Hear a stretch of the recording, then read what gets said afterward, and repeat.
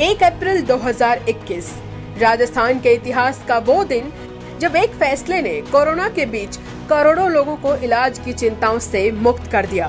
दरअसल इसी दिन राजस्थान की कांग्रेस सरकार ने मुख्यमंत्री चिरंजीवी बीमा योजना की घोषणा की थी, जिसके अंतर्गत प्रदेश वासियों को पाँच लाख रुपए तक का बीमा कवर दिया गया था। कोरोना के दौरान जब चारों तरफ़ तबाही मची हुई थी, लोग दवाओं के लिए तरस रहे थे। उस समय भी चिरंजीवी योजना ने लोगों को बड़ी राहत दी।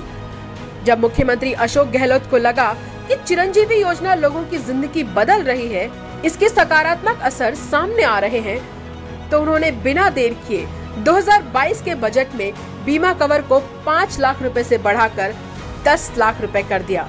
इस योजना में कुल एक हज़ार पाँच सौ छिहत्तर बीमारियों का इलाज शामिल है। इतना ही नहीं कैंसर और किडनी जैसी गंभीर बीमारियों को भी इसके दायरे में शामिल कर लिया गया। अब इस योजना का ऐतिहासिक दायरा समझिए। पिछले एक साल में राजस्थान के एक करोड़ तैतीस लाख परिवार इस योजना में शामिल हो चुके हैं। आठ लाख लोगों ने पिछले एक साल में इस योजना के अंतर्गत इलाज करवाया है, जिसमें किसी के दिल में छेद था, उसका इलाज हुआ है। तो इस योजना में इलाज कराकर कोई फिर से अपने पैरों पर खड़ा हो पाया है।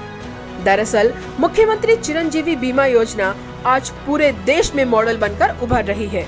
और लोग कह रहे हैं कि योजनाएँ हो तो कांग्रेस जैसी।